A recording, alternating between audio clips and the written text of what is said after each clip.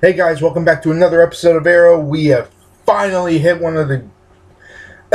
I'll get into it in just a second. So we start off this episode with another ghost chase scene. What happens during this chase? Uh, not a whole lot. We get a little bit of DNA off of one of the uh, uh, one of the ghosts, and of course they still get away. However, we did find something interesting when uh, Diggle handed over the file to Oliver, and now Oliver has this big, you know, he's got this banquet for the police going. It looks like Captain Lance is really starting to form a better friendship with Oliver. He's uh, putting more trust in him. He feels more comfortable around him. And what's more, what we all called with, you know, the whole uh, now that Captain Lance is working as the double agent, Darhk is now suspicious. It's dangerously close times. oh man, really, really dangerously close. There's lots of stuff to be talked about. We got all the stuff with Ray Palmer. Okay, uh, he's not back from the dead. Technically, he doesn't want anyone to know that he's back, and he just keeps it going throughout the entire episode. Felicity wants him to come back to the company, but he just keeps saying no, no, no, and no. It's just a broken record with him uh, with him and Felicity right now. It's just come back, no, come back, no, come back, no, please come back. Hell no. uh, then we got the stuff with Thea's bloodlust. It's back again. She almost stabs someone while on one of their runs, and of course comes the big part of the episode that had everyone just waiting for this moment. The anticipation was very big. Andy. He returned, and John Diggle saw his face. It was absolute insanity. I think the the look that I saw on Diggle's face, the the way he reacted to it, it seemed very genuine, very what in the world is going on. It was a real genuine freak out type deal, and I think that was a a really just really good way to go about it. And of course, he's not hiding it from everyone. He's actually telling them straight up everyone's on the same picture. There's no hiding this, hiding that.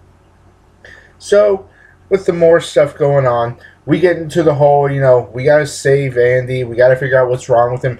Diggle for the entire episode is all like, he doesn't deserve a second chance after everything that he's done. Oliver is trying to convince him, yes, he does. He does deserve a second chance. And just it's a back and forth, but you do see where it's all going down. And of course, during Oliver's police banquet, when Damien Darhk shows up, every last one of us we're just kind of laughing at the stupidity of Darhk at that moment, or at least I am.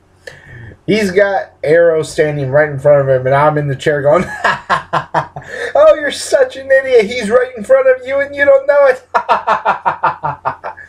oh man, I, I was just laughing and chuckling in my seat the entire time. It was just hilarious. And of course, what else do we got going on? well, comes down to the last two battles. Okay, so with one of them being, you know, we kind of figure out how Darhk is controlling his people. He's got these little yellow pills that makes them more obedient to the point where, well, they'll obey any order that there is. And during the last battle, we get them break into the basic operations base of many, many ghosts just to get Andy out. What happens? Thea is the one that runs into him. And after taking down Andy, who runs into her? Damien Darhk. Oh my god. The interesting thing was when he tried to use his powers on her, didn't work. At first, I thought it was just, you know, hey, maybe he just doesn't have an effect on her because she's been in the Lazarus pit.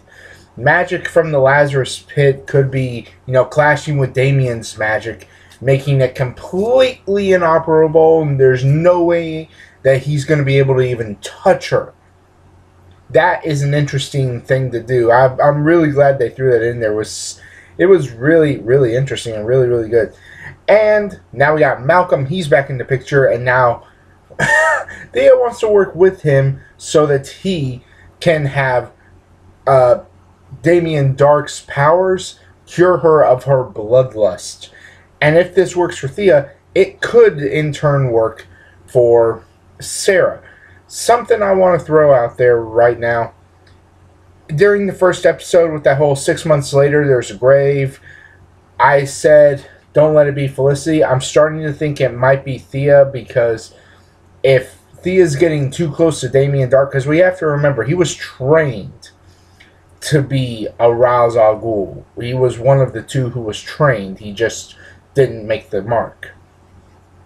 So that's something really important right there. And of course, we got the stuff on the island. The stuff on the island, they're downplaying it quite a bit. They're not throwing it in there too much, but they're putting in just enough to where it stays interesting.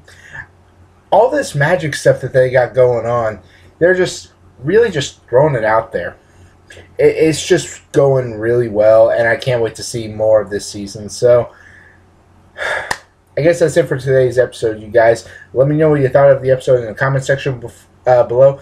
As for the rating for this episode, I say this is the best episode we've had. I give it a 9.8 out of 10 because we got some hardcore action. I mean, most of this was done in the whole, you know, one shot deal, and it was absolutely incredible. It felt like a real action packed, you know, you're right there, you're watching them and you're with them, you're watching the whole fight. It just looked incredible, especially with the fights between uh, John and Arrow at the docks and, of course, Thea versus Andy.